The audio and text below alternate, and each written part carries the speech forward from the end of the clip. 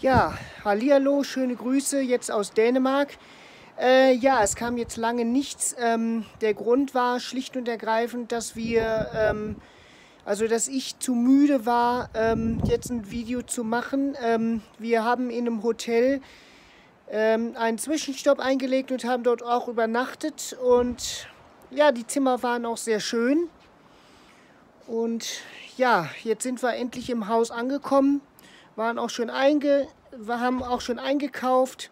Ich habe mir mal wieder ein paar kulinarisch, was zur kulinarischen Erbauung gekauft, auch ähm, dänisches Bier. Ich muss jetzt mal hier die Tür ein bisschen ranmachen. So, und äh, ja, jetzt pisst es gerade ein bisschen, aber das Haus ist sehr schön gelegen.